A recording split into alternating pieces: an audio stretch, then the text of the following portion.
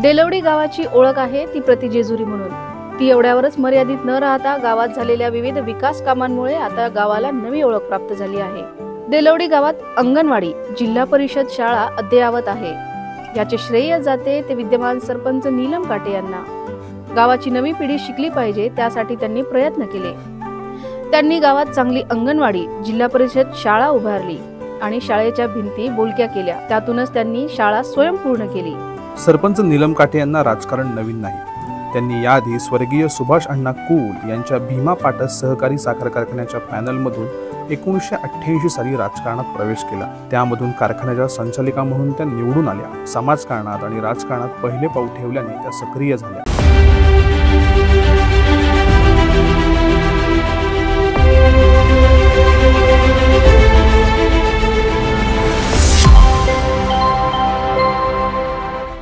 ज्याच्या नेतृत्वाखाली गावाने घ्यावी भरारी उंच असा असावा गावचा आदर्श सरपंच. प्रभात पुरस्कृत आदर्श सरपंच पुरस्कार सोहळा. प्रायोजक शुद्ध आयुर्वेद चूर्ण दूध कांडी the Cosmos cooperative bank limited आणि मुकुंद इंजिनियर्स. नमस्कार मी देलवडी गावची सरपंच नीलम नरेंद्र काटे. देलवडी गावातून मला बिनविरोध सरपंच म्हणून होण्याचा मान मिळालेला आहे. आणि त्यासाठी ब- मा म्हणजे मला घरातून सुद्धा खूप प्रोत्साहन मिळालेलं आहे. आणि विशेषतः म्हणजे मला गावकऱ्यांनी बिनविरोध ही संधी दिलेली आहे.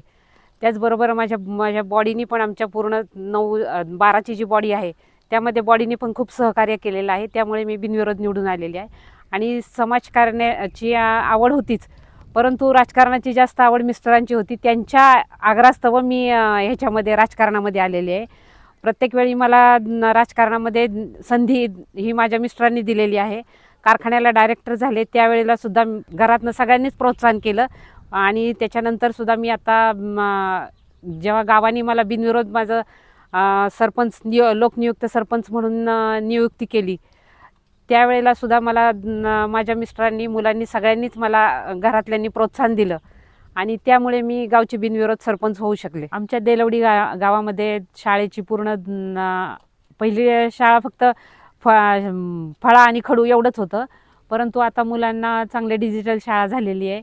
आणि मुळात मुलांना निसर्गरम्य वातावरणात असल्यासारखी शाळा असल्यामुळे तिथं पण आम्हाला जास्त आम्ही मुलांच्यासाठी हे केलेलं आहे. मुलांना जेणेकरून सगळे सगळ्या सुविधा मिळाव्यात. ई लर्निंग हे ते सगळं केलेलं आहे मुलांच्यासाठी. डिजिटल शाळा केलेल्या आहेत. असं मुलांच्यासाठी सोय केलेल्या आहेत. आणि मुलांच्यासाठी ग्रंथालय वाचनालय अशा पण सोयी केलेल्या आहेत शाळेमध्ये. मुलांच्यासाठी न- शाळेमध्ये सगळ्या बोलक्या भिंती केलेल्या आहेत. जेणेकरून मुलांना शिक्षणात रस जास्त वाढावा म्हणून सुद्धा त्यांच्यासाठी खूप सोयी केलेल्या आहेत. जेवढ्या न- शाळेमध्ये त्यांच्यासाठी जेवढ्या सुविधा भरपूर केलेल्या आहेत ई लर्निंगचं तर केलेलंच आहे त्यांना. आणि पुढची भविष्यात पिढी आता कॉम्प्युटर युग आलेलं आहे त्याच्यामुळं कॉम्प्युटरसाठी पण त्यांना सोय केलेली आहे. गावात भविष्यात मुलांची पिढी आहे, कारण हे उद्याचं भविष्य येते तर त्याच्यासाठी मुलांनी व्यवस्थित चांगलं शिक्षण घेऊन जा- हे व्हावं. कारण मुलांना आता हल्ली पैसा आहे ते काहीच कमी नाही आहे तर शाळेमध्ये फक्त सुविधा आणि त्यांनी घडवण्यासाठी त्यांच्यासाठी प्रयत्न क- केले पाहिजेत. म्हणून त्यांच्यासाठी सगळ्या डिजिटल सोयी केलेल्या आहेत. शाळा सगळ्या डिजिटल केलेल्या आहेत. आणि मुलांनी जास्तीत जास्त शिक्षणात प्राविण्य प्रावीण्य मिळवावं यासाठी माझे जास्त प्रयत्न असतात. त्यासाठी आम्ही शिक्षकांच्या सुद्धा वारंवार मिटिंग घेत असतो. शाळा व्यवस्थापन समितीशी त्यांच्याशी आम्ही सल्लामसलत करत असतो की जेणेकरून मुलांना आत्ताच आम्ही एक आता असं ठरवलं की एक इंग्लिश मिडियमची इथं वर्ग चालू करायचा आहे म्हणून. सगळ्यांच्या गावकऱ्यांच्या ह्यांच्या प्रोत्साहनातून. आमच्या गावाचं कुलदैवत हे खंडोबा असल्यामुळे त्यांना आम्हाला आमच्या आमदारांच्या राहुलदादा कुल यांच्या प्रयत्नातून क दर्जा मिळालेला होता. क दर्जातून आम्हाला त्याच्यासाठी एक कोटी चाळीस लाख रुपये मिळालेले होते. त्यासाठी आम्ही सगळं सुशोभीकरण आणि हे घाट आहे ते सगळे व्यवस्थित केलेले आहेत. आमच्या गावचं देलवडी गावचं जे प्रतिजेजुरी म्हणून ओळखलं जाणारं मंदिर आहे त्याच्यासाठी आमदार राहुलदादा कुल यांनी आम्हाला क दर्जा मिळून दिला. त्यांच्या ह्याच्यातून आम- माध्यमातून आम्हाला एक कोटी चाळीस लाख रुपये हा निधी आला. तो निधी आम्ही व्यवस्थित त्याचे घाट माथे ते व्यवस्थित करून सुशोभीकरण केलं. आणि त्याच ह्याच्यामध्ये आम्ही दहाव्याचे ह्याचे हे केलेले आहेत. एकदम सुशोभिक म्हणजे कोणाला वाटणारच नाही की आपण ह्या स्मशानभूमीमध्ये आलो एवढं सुंदर तिथं चिंचबण हे ते सगळं तयार केलेलं आहे. मंदिरामध्ये दर रविवारी तर हे असतंच. आणि दर पौर्णिमेला सुद्धा इथं उत्सव असल्यासारखंच असतं.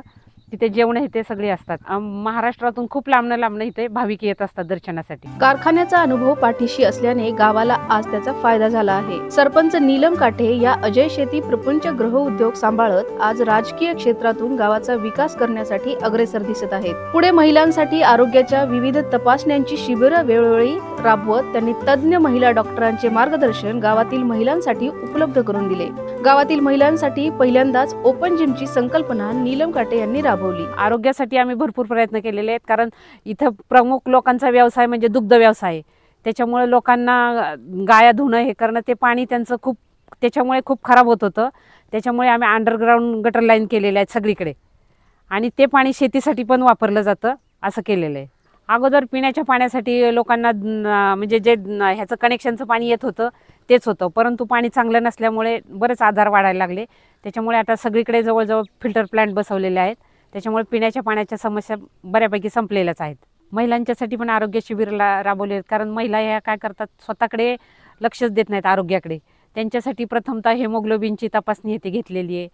कारण हेमोग्लोबिन कमी असल्यामुळे पण बरेच आजार वाढतात महिलांना. त्याच्यामुळे बऱ्याच वेळा हेमोग्लोबिनची पुन्हा प्रत्येकाचे ग्रुप कोणाला रक्त ग्रुप माहीत नसतो. त्यासाठी ते सुद्धा त्यांचे हे घेतलेले आहेत महिलांचे. त्यांच्यासाठी पुन्हा असे इथं जवळजवळ सगळीकडे आम्ही हे हे बसवलेलं आहे. ओपन जिम जेणेकरून महिलांना त्याच्यावरती येऊन बसता यावं. आपल्या शरीराच्या काय जर हालचाली पाय हे ते कमी दुखत हे क होत नसतील हालचाल ते त्यासाठी त्यांच्यासाठी ओपन जिमसुद्धा केलेली आहे महिलांच्यासाठी. ज्यावेळी नुकतीच आमची दोन हजार एकोणीसला जेव्हा इलेक्शन झाली त्यावेळेला मोठं म्हणजे महामारीचं करोनाचं संकट आलेलं होतं. त्या काळामध्ये आम्ही प्रत्येक शाळेमध्ये सॅनिटरी पुन्हा जिथं जिथं मुलांचा किंवा माणसांचा जिथं जिथं संपर्क येईल करोनाचा संसर्ग वाढू नये म्हणून मुलांना मास्क वाटप केले. सगळीकडे जंतुनाशक फवारणी केली होती.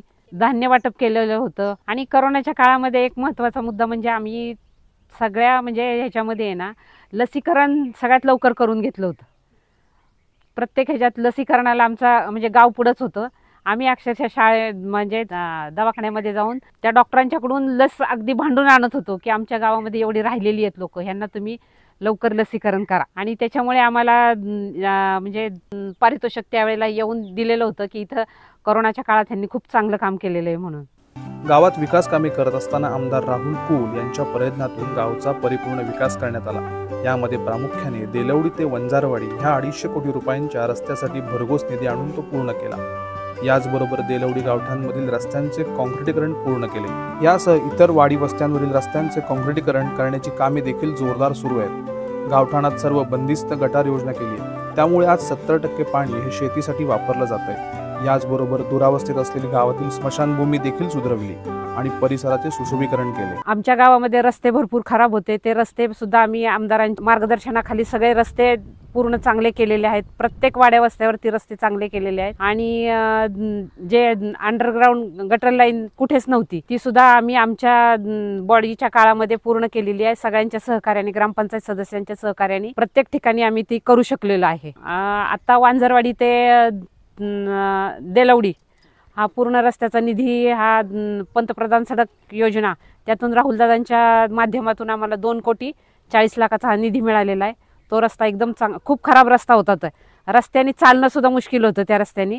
पण तो दादांच्या माध्यमातून रस्ता चांगला झालेला आहे. आमच्या देलवडी या गावचं स्मशानभूमीमध्ये अगोदर रस्ते खूप खराब होते आणि त्याच्यानंतर मग स्मशानभूमीमध्ये जाताना पण खूप अडचण येत होती.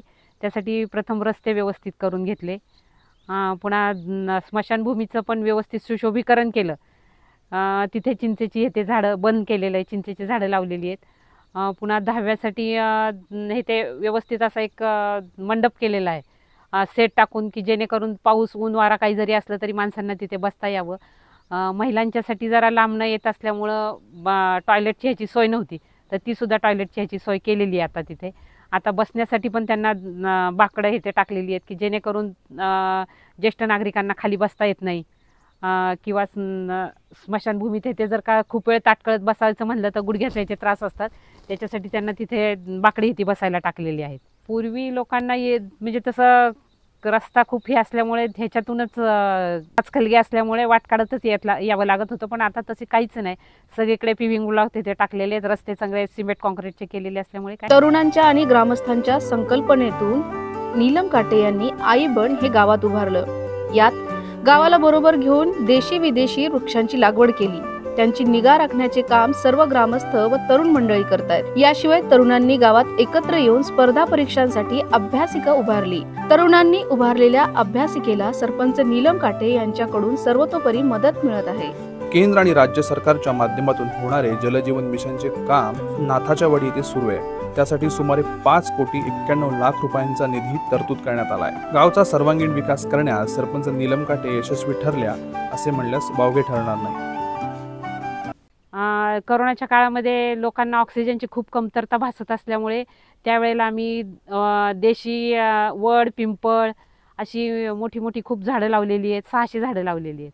इथून पुढच्या पिढीला त्याचा नक्कीच उपयोग होणार आहे हे मात्र तितकंच खरं आहे. आणि भविष्यामध्ये जलजीवनचं काम तर न- पाच कोटी चाळीस लाखाचं जलजीवनचं काम चालू आहे ते पण चालू झालेलं आहे आता. हर घर जल असं हे करण्यासाठी आमदारांच्या माध्यमातून पाच कोटी चाळीस लाखाची जी मोठी स्कीम आलेली आहे त्याचंही काम आत्ता गावामध्ये चालू आहे. आमच्या देलवडीची गावच्या कामाचा विकास काम करत असताना मला माझ्या पूर्ण बॉडीचं आणि जे जे उपसरपंच सगळे होऊन गेले त्यांनीसुद्धा खूप चांगल्या प्रकारची मदत केलेली आहे. आणि एक कुटुंब असल्यासारखं आम्ही ग्रामपंचायतमध्ये हे करत असतो. प्रत्येक म्हणजे विचार विनिमय करून मगच कोणताही निर्णय घेतला जातो. कधीही कुठल्या निर्णयाला मुळात विरोध कधी होत नाही आणि झाला तरी आम्ही तो सल्लामसलत करून तो विरोध हे करत असतो. त्याच्यामुळे आणि समाजाची भूमिका ठेवल्यामुळे ते सगळी कामं होत असतात. कुठल्याच कामात अडचण आलेली नाही आहे त्यासाठी आम्हाला माझ्या पूर्ण ग्रामपंचायत सदस्य आणि ग्रामविस्तार अधिकारी अं, झाडगे भाऊसाहेब ह्यांचंसुद्धा चांगलं मोलाचं सहकार्य लाभलेलं आहे.